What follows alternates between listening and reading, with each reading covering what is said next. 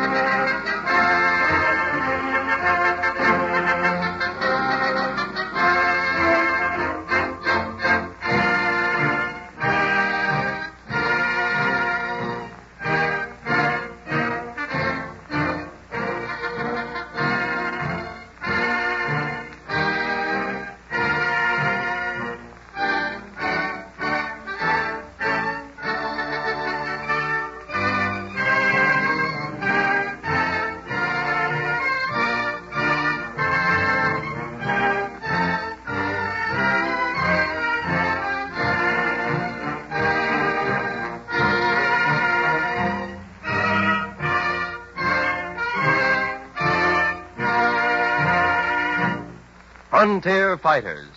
Heroic stories of those splendid wayfarers who trod the endless westward paths to everlasting fame and eternal glory.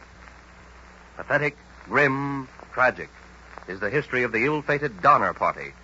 Nearly a hundred pioneer men, women, and little children, martyrs to the Pacific colonization boom, which, in the Middle West, assumed gigantic proportions.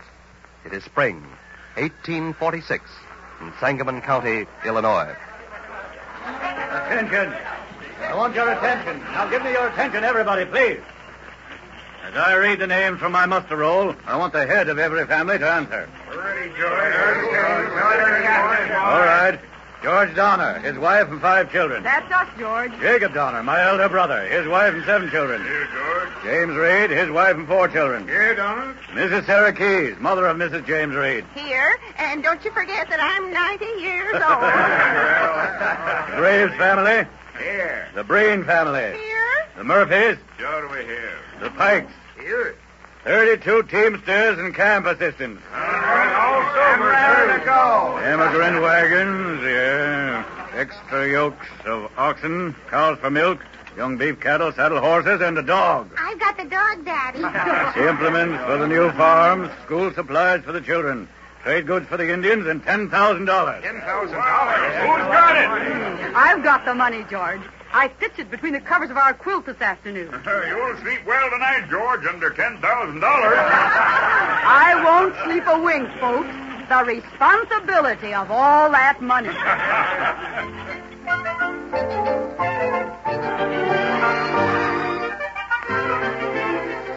On July 25th, at Fort Bridger, Wyoming, the Donner Party received a letter from Lansford W. Hastings, an organizer of emigrant trains, advising its captain to take the shorter route west, known as the Cutoff, which led from Salt Lake to the Humboldt River.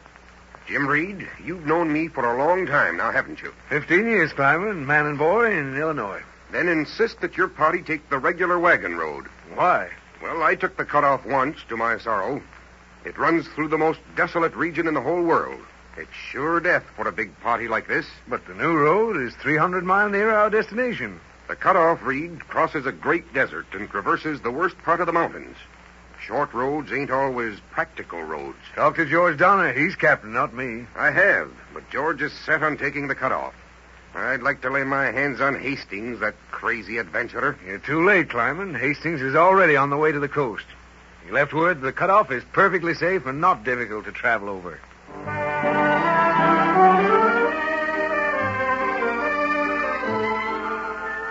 Blocked by blind canyons, dense forests, mountain pockets, the Donner Party finally reached Salt Lake. It had spent a month covering a distance which should have taken but eight days. Food was running low. To escape starvation in the wilderness, the party pressed forward, faster, faster, faster. Fearful desolation, alkali and sand as far as the eye could see. Water casks were empty. The piercing rays of a pitiless sun beat down on human and beast alike. Then the Donner Party struck the emigrant trail along the dry bed of the Humboldt. Jim Reed, you found water yesterday. It's in your powder horn. You're a liar, Snyder. I'll fight you, Reed. But just a drop of that water. We'll fight tomorrow, Snyder, not now. We'll fight now. Take that, you oh. water thief. Don't, John Snyder! Don't! My husband's your best friend. He's a water thief. As for you, you interfering wench. Oh! Come, Snyder. You'll never strike another woman. No. Not in this life. Oh, no, Jim. Jim, I didn't mean it. See? Not with that knife. Look, I'm sorry, Jim. Now with that knife. Oh, oh, Jim. Jim Reed. You, you've stabbed me to death. You've stabbed me to death.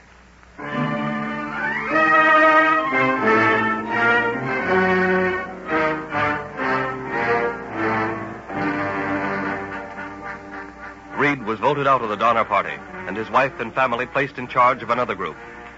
Reed, vanished, set out at once to secure aid for the party from the mountain settlements. One night, to add to the party's wretchedness, George, wake up. Indians. What? Indians? Why, they're among the cattle. It's a stampede. Where's my gun? Here. Oh, look out, George.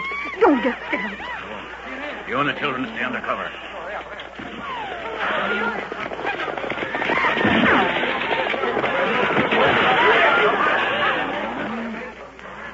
Show that are gone, Captain George, and so's most of our beef cattle. Oh, where's Jacob, my brother? here, George. but this looks like the end. Oh, buck up, Jacob. Anyone hurt? No, thank God. But those red devils got away with 20 head of cattle. All we had. George, we can't hold out much longer. Not much longer.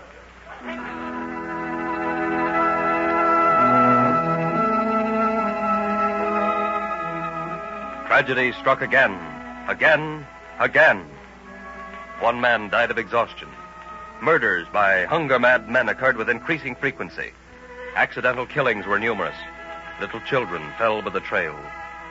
From the base of the mountains, the party literally crawled up the steep, pathless slopes to the Truckee River, which the party crossed and recrossed 51 times in 80 miles.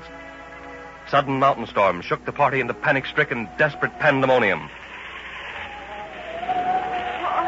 Oh, I can't go on. My dear, brave husband. Then we'll stay here and wait out the storm. Oh, what in this snow? No, no, we can't wait. I'll stay. Uh, I'm in charge of this party now. We'll go on to the crest. No, we won't. We'll stay here. Stay. Where's George Donner? Sure, he's our rightful captain. We'll do as he says. He's still at Prosser Creek, broken axle. Oh, don't stand there talking.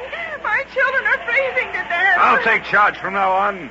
We'll put up a tent under those pine trees and crawl in. We'll keep warm that way. Everybody start digging a hole.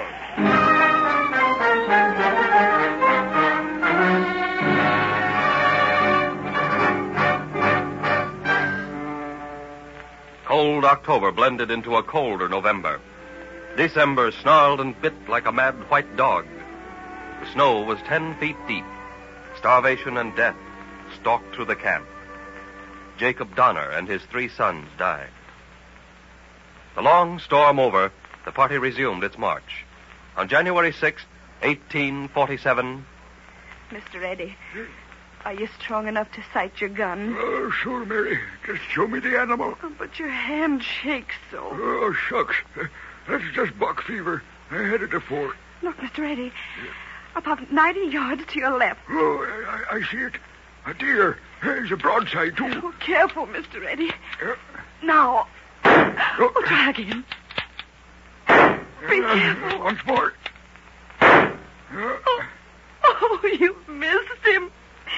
You missed him. no, no, Mary, look. Look, he's wounded. He's staggering. He's falling. He's down. Oh. Uh, quick, Mary. H- hurry, Mary. He may get away. yes. He may get away.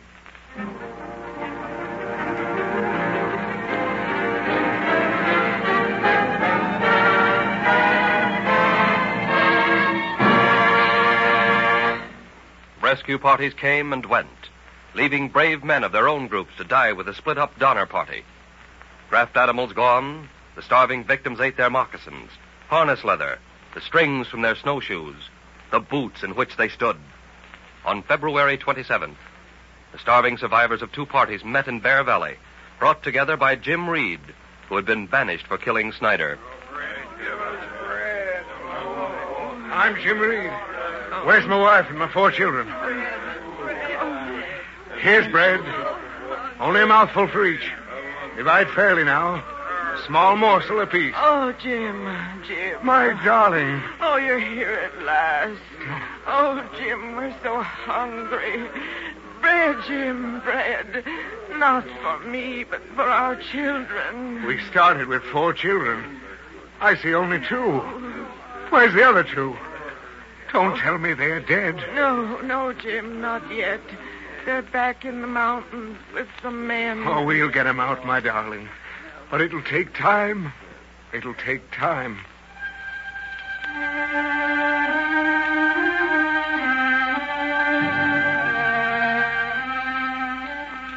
In the huts at Prosser Creek, only nine persons remained alive. Among them were George Donner, dying from starvation, and his wife, Tamsen Donner. Come, Mrs. Donner. There's nothing more you can do. You, you want me to leave George, my husband. Yes, George is dying, Mrs. Donner. So please come with us with your three remaining children. No. Take the children. They're young. They'll recover. But I beg of you, let me stay here with George. But you can't last here. The children will need you later. When I married my George, I swore to God only death would part us. But death won't part us. Death will only bring us together again in another world where there's no hunger and no thirst. A place of brave men and loyal women. A heavenly refuge for exhausted bodies and tortured souls.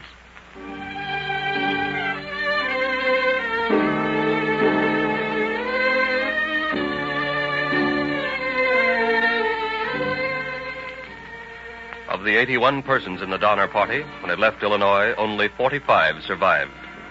Epic heroes all.